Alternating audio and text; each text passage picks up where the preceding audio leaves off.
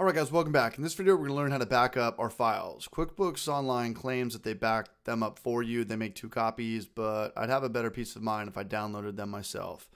Maybe if I ever get audited, I could use these reports to match my receipts. FYI, my accountant advises that I hold on to my receipts for seven years. Brutal.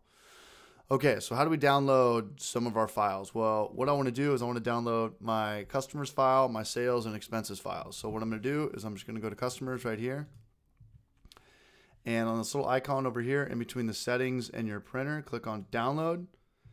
And mine automatically knows how to open it to Microsoft Excel, and I like that. And I just click on that. And all the information that I provided when I added each customer, whether it was their company address, email, and stuff like that, it auto populates that Microsoft Excel for you, which I really like. So I would just go ahead and this, just save this to your desktop and then just put it on a hard drive or put it in the cloud. So I want to just go ahead and have my customers and I want to download my sales. Business as usual, go over here to the right, click on the icon in between the settings and the printer.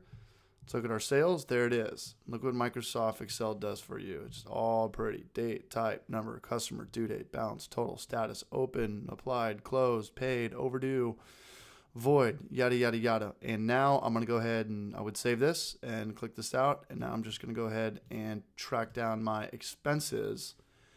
And let's go ahead and download our expenses. There it is. Expenses. Date, pay, category, uh, job materials, office supplies, entertainment, meals and entertainment, expenses, yada, yada, yada, and the total right there on the right hand side. So I would save this, put that in a root folder on my desktop, and then put it on a hard drive or put it up in the cloud. All right, guys. So that's how you successfully uh, download and back up some of your files in QuickBooks Online.